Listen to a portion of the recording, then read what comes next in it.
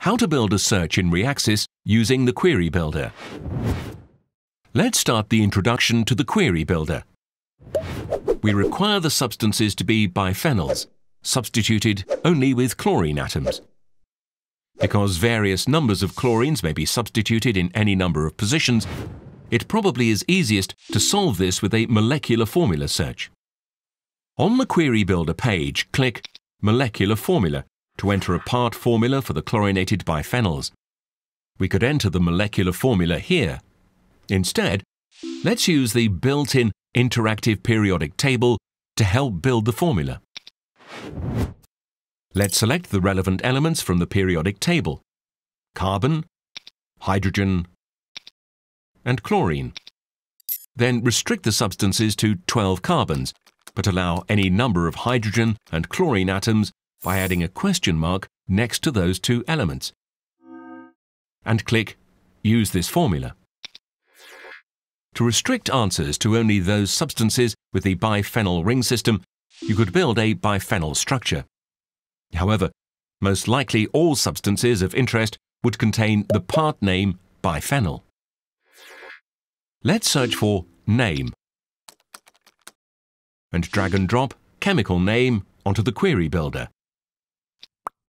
Enter the term biphenyl with leading and trailing asterisks as part of the chemical name. The asterisks are truncation symbols, indicating that the name may include other characters or phrases before and after biphenyl. This is equivalent to selecting contains and biphenyl from the menu of the chemical name field.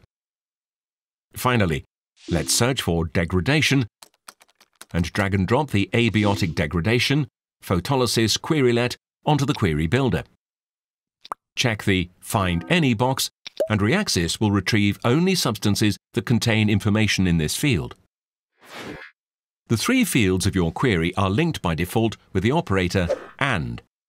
You can change the operator by clicking it and selecting an alternative from the menu. For this search, however, we'll use AND. Perform the search by clicking Search and then Substances. The results page is displayed. Reaxys retrieves a hit set of substance records, all chlorinated by biphenyls that include data on their degradation by photolysis. The first substance, hexachlorobiphenyl, has nine hits for abiotic degradation, photolysis. Let's click abiotic degradation to view them. The second hit shows type, concentration, degradation rate, exposure period, and more. The degradation is 64% in 48 hours. If this meets our requirements, we can review the results to find the substance of choice. Let's say we are looking for substances that degrade by at least 90% in 24 hours. Such substances would have to have a half-life time of less than 6 hours.